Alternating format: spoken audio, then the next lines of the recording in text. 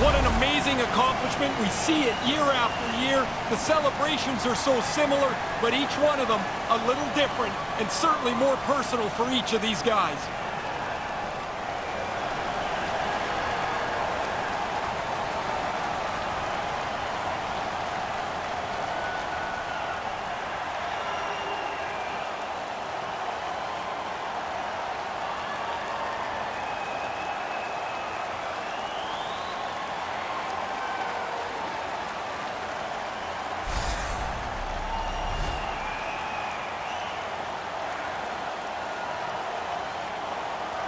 What a series, and both sides paying respect here, Ray. Well, they'll shake hands, but I know the winning side, this is like a speed bump to getting their hands on the Stanley Cup, which they can't possibly imagine what it'll be like.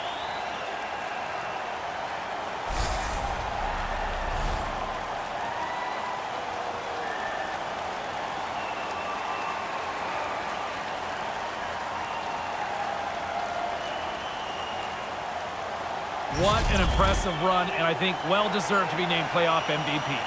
I've always noticed that the player that gets named Conn Smythe Trophy winner is always a little uneasy because it's such a team win, the Stanley Cup, of course, that the Conn Smythe feels a little awkward in this spot. It's also huge.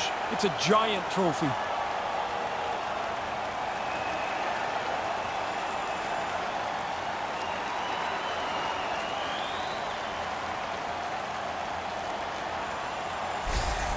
When you get called out by the commissioner, this is the one time it's okay for the league office to call you out, isn't it? It is. What a what a fantastic celebration every year when you see the first player to get to the trophy just throw it up over his head.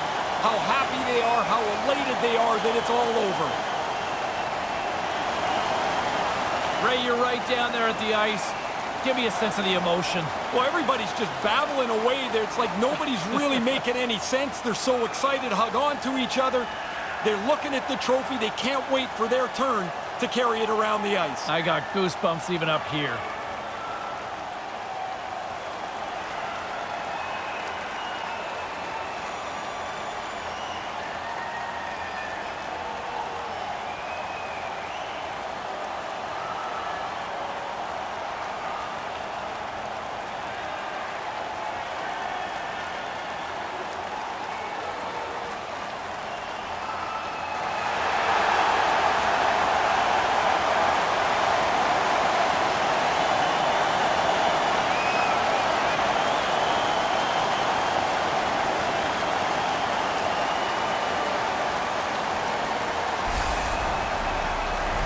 We think of the players on the ice, but Ray, as you see the rest of the organization huddling, it really is a group effort here. This means something to everybody that works with the championship organization.